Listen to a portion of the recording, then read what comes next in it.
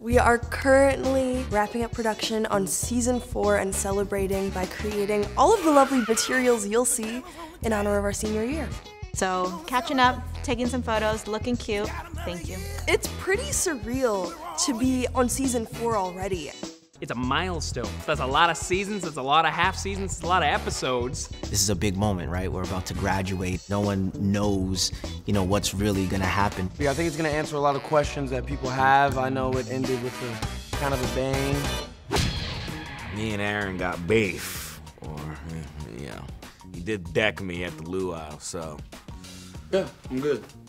Are you? Because there's some severity to what you did. A TA punching a student? You could have lost your job or even gotten arrested. You're gonna see more of Doug and Kiella and see how that unfolds with the whole Luca dynamic. I let seeing Doug and Luca's sister assault each other with their tongues cloud my judgment.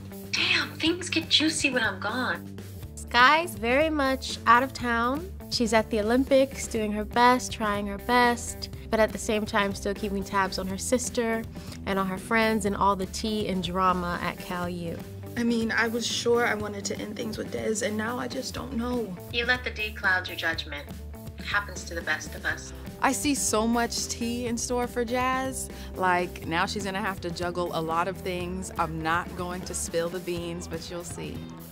I'd say really season four lives up to the name Grownish. It's all of the characters, particularly Zoey, coming to terms with the idea that college is going to end and the real adult world is waiting out there for her. Guess who I ran into last night getting trashed with a bunch of sweaty bros with 40s taped to their hands? Ew, who? The father of my baby. We left off. Nomi at the luau ran into Phil, her baby daddy, and I think we're gonna start to explore her dynamic with with Phil a little bit more. What happened between us was a one-time thing. I love secrets. It's kind of crazy to think that we've gone all the way from the first table read all the way down to onto season 4B.